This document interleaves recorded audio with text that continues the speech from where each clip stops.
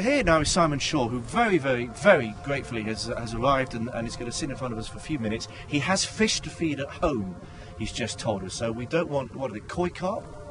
Just goldfish. Just goldfish. One. One. Yeah. Lonely goldfish. Right. No one at home needs feeding. Okay, fair enough. Uh, so we'll rattle through this as, as quickly as possible. Another World Cup camp, Simon Shaw. I, I mean, I don't know how many. How many are we talking about now? There's been a few, haven't there? Uh, I think it's fourth or fifth. Well, well who's counting, eh? Yeah, none of them particularly pleasant, pleasant I have to say. But uh, no, it's uh, it's been going well. The boys are really putting it in. It's, uh, it's obviously great to be here again. And one of the great things about you, and I hope you see this as a positive because it is, am I right in saying you now hold the record for the biggest lifespan of, of playing for England? You started when you were you know, seven, and here you are now, you're 54, and you're still playing for England. That's a slight exaggeration, but not much.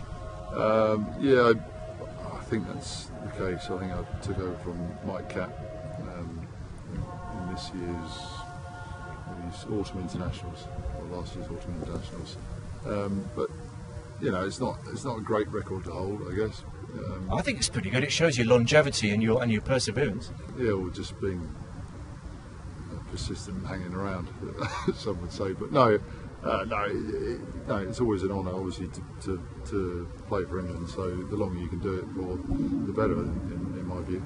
Now, if I were to say to you, I don't know, eight years ago, as you raised your battered body off your bed and, and played in the World Cup, do you know what? You're going to be here in eight years' time doing the same thing. Could you possibly have believed it, and indeed believed it in yourself that you'd be mad enough still to be putting yourself through this? Uh, I always had faith that my, my body would hold together uh, for a few more seasons. I, I think uh, you always there's always that concern in your head that you're going to be able to keep the quality up, keep the, keep the standard required to, to play at this level.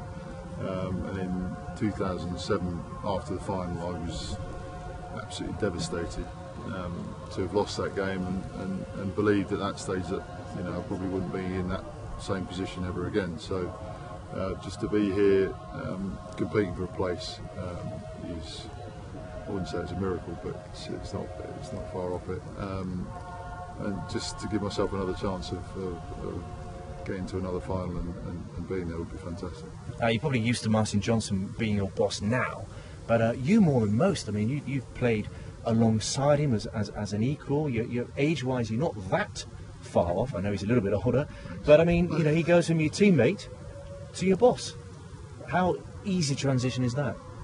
It hasn't been difficult at all, to be honest. I mean, uh, He was kind of your boss when he was captain as well, though, wasn't he? Yeah, exactly. And um, no, he's he's obviously um, you know he's obviously he's done everything in, in the game there is to be done, and um, he commands a lot of respect. And, and uh, I've always been very respectful of my, my coaches and uh, managers and you know, whoever they've been. So uh, it just you know, it's, it's been seamless really. He's taken over and, and you give him that respect straight from the off.